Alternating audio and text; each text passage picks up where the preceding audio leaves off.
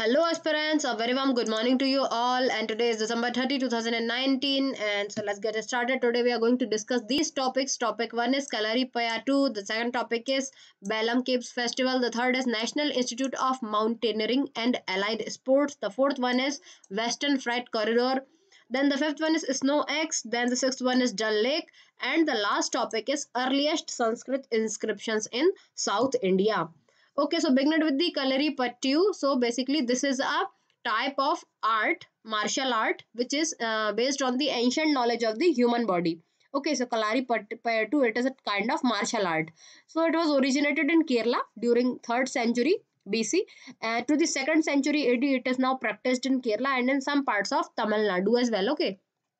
So basically, it's a kind of martial art which is pra practiced in the southern pa part of India, especially in the uh, Kerala and in some part of Tamil Nadu. Okay, so uh, it is practiced is called kal uh, Kalari. Okay, uh, Kalari and this Malayalam word that signifies a kind of gymnasium. Okay, so sometimes you can you guys can see that uh, with the help of swords and all that this Kalari Payattu is being um, is played. Okay, so it is literally means threshing floor or battlefield. Okay, so the word Kalari. Kalari first appeared in the Tamil Sangam literature to describe both a battlefield and combat arena. Okay, so basically this is the first time, for the first time this word Kalari have been uh, appeared in the uh, Tamil uh, Sangam literature and it is somehow classified as the battlefield and the combat arena.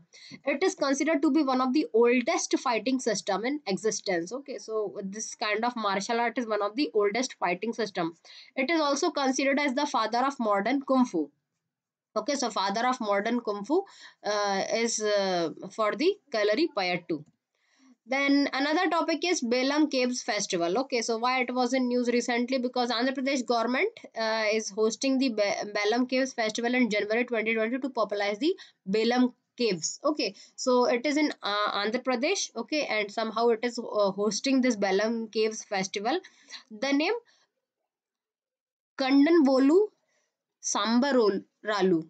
Sambaralu. Okay, Kandanavolu Sambaralu. This has been proposed for the festival. Kandanavolu was the ancient name of Kurnool district. Okay, so this Kandanavolu was the ancient name of Kurnool district and this is about the Belum Caves and this that's why Belum Caves festival was in news. Okay, so location of Belum Caves is uh, also known as Belum Guhalu in Kurnool district of Andhra Pradesh is the second longest cave in the Indian subcontinent open to the public. Okay, so somehow it is the second longest cave and the longest natural cave in the Indian subcontinent is Krim Liat Prah in Meghalaya. Okay, so this one Krim Liat Prah caves are the longest and the second longest is this Belem caves. Okay. Now formation of this cave is from more than 1000 years old and it was formed by a constant flow of underground water over a period of time. Okay. So because of this underground water, this Bel Belum caves have been formed. Okay. So geographical features are, these are renowned for the speleolithium Speleothem structure, speleothem are secondary mineral deposit formed in the cave, okay, such as stalactite and stalagmite formations, okay, so somehow these are the geographical features of these caves and in the historical background are these caves were occupied by Jain and Buddhist monks, so the Jain and Buddhist monks and Andhra Pradesh uh, occupied these caves, the presence of 4500 year old vessel from the pre-Buddhism era ensures the same. So uh, it, it is somehow uh, um, a spot for Jain and Buddhism monk too. Okay, so this was the historical background of the Belum caves.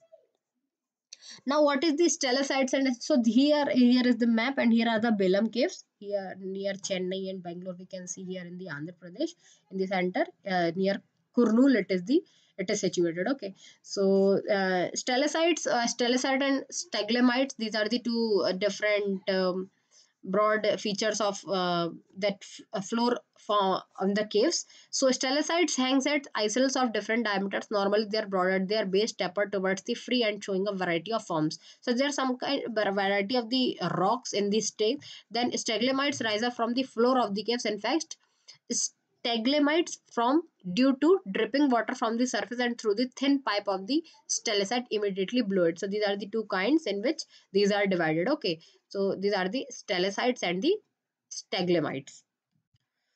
The next topic is National Institute of Mountaineering and the Allied Sport.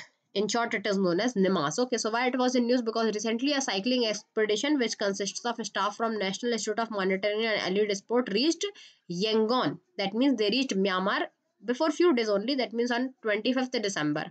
So it will be cycling through Myanmar, Thailand and Malaysia. So these, the cycling expedition will be cycling through Myanmar, Thailand and Malaysia up to Malaysia-Singapore border okay so from that uh, from uh, beginning it from the uh, myanmar so uh, they have reached myanmar and now they will be uh, going to thailand malaysia and they will be go up to malaysia singapore border okay? So ministry of defense is funding the expedition. So this expedition is being funded by the ministry of defense okay? Now what is national institute of mountaineering and allied sport? So it is an advanced sport training institute and it is located in the West Kameng district of Arunachal Pradesh. So West Kameng Kameng district of Arunachal Pradesh uh, is the place where it is situated and it operates under the control and superintendence of the Ministry of Defense. So under the superintendence of Ministry of Defense it is operated the institute offers training across land, air, and water, a first of its kind that allowed civilians to experience challenges across a variety of outdoor surfaces, as well as pursue a career in adventure sports. So, from the name itself, somehow it is clear. So, it is having a training across land, air, and water, and it provides a structured training to defense personnel as well. Okay, so if Ministry of Defense is funding the expedition, so somehow it is uh, giving the training to defense personnel too. The next topic is Western Freight Corridor. Okay, so the Dedicated Freight Corridor Corporation of India, in short it is known as DFCCIL, it has opened more than 300 kilometer section between Rewari, which is in Haryana, to Madar, which is in Rajasthan, Madar, for commercial trial runs. Okay, so it is a freight corridor and it is the first section to be opened on the under construction Western Freight Corridor. Okay, so it will be 1500 kilometer long, which will begin at Dadri in Uttar Pradesh and it is stretch till the country's largest container port, Jawaharlal Nehru Port Trust near Mumbai, passing through Uttar Pradesh, Haryana, Rajasthan, Gujarat and Maharashtra. Okay. So it is like uh, the DFCCIL under which is under the Ministry of Railway. It is uh, um, making it. It is a special purpose vehicle tasked with planning and completion of 3,000 306 kilometer of dedicated freight corridors so there will be so many freight corridors but it is in the western zone so somehow it is saying that it will be the western freight corridor which will be under the DFCCIL that means Dedicated Freight Corridor Corporation of India. So either western or eastern all the freight corridor will be under this organization okay. So the DFC corridor will run only freight trains. The, con the construction of western dedicated freight corridor project will enable the decongestion of existing oversaturated path with thereby effectively improving punctuality of passenger trains. Okay so freight corridor it will be a, a kind of railway line. Okay and as the ministry of railway uh, um, is the dfccil is under the ministry of railway so somehow the freight corridor will be made for it. Okay so this is about the western freight corridor the next topic is SnowEx. Okay, so why it was in news? Because recently National Aeronautics and Space Administration, that means NASA, they have launched a seasonal campaign and uh, it will be for understanding that how much water is contained in each winter snowfall and how much will be available when it melts in the spring okay so somehow how much water is getting evaporated and then how much water is coming down in the form of uh, snow this will be the study by the nasa Okay, so it is a five-year program which is known as SnowEx and it was initiated in 2016 and somehow it will go for five years. Okay, so key points of this SnowEx is it will focus on uh, its focus is in North America, but NASA's overall target is optimal strategies for mapping global snow water equivalent with remote sensing and model leading to Earth System Explorer mission. Okay, so somehow it is trying that uh, all the areas in the uh, on the globe wherever the snowfall is there so somehow it will use the method of remote sensing. Okay so what is matter? It is uh, about uh, obtaining information which is from a distance itself we can get the information with the help of aircraft and satellites. Okay so uh, currently nasa has no global satellite mission to track and study this um, SnowEx but still uh, snow is a vital source of water for drinking and this is the reason somehow nasa is trying to understand that how much water is being utilized in the form of snowfall and then it converts into drinking water too. Okay so this is about the SnowEx the next topic is Dal Lake. Okay, so Dal Lake, it is a lake in Srinagar as we all know that it is a famous lake in Srinagar and it is in the capital of the Union Territory of Jammu and Kashmir because now it is uh, Union Territory. Jammu Kashmir is a Union Territory. So Dal Lake is a misnomer as Dal in Kashmiri means lake. Okay, so Dal Lake uh, misnomer. It is like Dal is already uh, in Kashmiri. It is already as uh, it is already a name for the lake itself. Okay. So it is integral to tourism and recreation in Kashmir and it is named the jewel in the crown of Kashmir or Srinagar's jewel. So this is the name which has been given to Dal Lake, jewel in the crown of Kashmir or Srinagar's jewel. So it is also an important source for commercial operations for fishing and water plant harvesting. Okay. It almost covers an area of 18 square kilometers and it is a part of a natural wetland including its floating gardens. Okay, so this is about the Dal Lake and it is covering an area of 18 square kilometers. So that's why because uh, uh, winters are the spot uh, time uh, not the winters because Dal Lake get uh, freezed but after that it will be the time for tourists to come and explore the beauty of Kashmir okay so there are floating gardens known as Raad in Kashmir blossom with lotus flower during July and August. So this is the time where most of the tourists come to visit this land which is known as heaven in the earth. Okay, so the wetland is divided by causeways into four basins. So this is the wetland which have been divided by in four basins. So one is Gagribal, then there is Lokut Dal, then there is Bordal and Nagin. Okay, so these are the uh, four different basins. So Lokut Dal and the Bord Dal each have an island in the center known as Ruplang and Sona Lang respectively. Okay. So these are the Ruplang. It is also known as Char Chenari. Okay. So these are the places which are divided uh, and in there are the four basins here. So keep this in mind the Gagribal, the Lokut Dal, Bord Dal and the Nagin. Okay. So the houseboat which are also known as Shikara are closely associated with Dal Lake which provide accommodation to tourists in Srinagar. Okay. So somehow it is the accommodation uh, in the Srinagar uh, which are shikaras. Okay, so this is about the um, Dal Lake. See how beautiful it is. The last topic is earliest Sanskrit inscription in South India. So why it was recently in news because Archaeological Survey of India that is ASI it has discovered the earliest Sanskrit inscription in South India okay and it is also an earliest epigraphic evidence. Epigraphy epigraphy basically it is a study of ancient inscriptions for the saptamatrika cult. Okay so for the saptamatrika cult uh, the study of ancient inscription is the actually epigraphy is the study of the ancient inscriptions. But in the south india it is for the saptamatrika cult. Okay now, what is Saptamatrika cult? They are the group of seven female deities which are worshipped in Hinduism as personifying the energy of their respective consorts. Okay, so these are the seven female deities which are worshipped. Okay, in the Hinduism. Okay, so another inscription in Prakrit language and in Brahmi character belonging to the first century AD was also found. Okay, so now another inscription in Prakrit language was also found, which has which were having the Brahmi characters, and it is said that it has been belonging to the first century AD. Now, what are the key points of this? So, inscriptions related to Saptamatrika. From the uh, name itself, Saptamatrika is clear. That means the seven deities. Sapta means seven and Matrika means female deities. Okay. So, the it found inscriptions record construction of Prasad.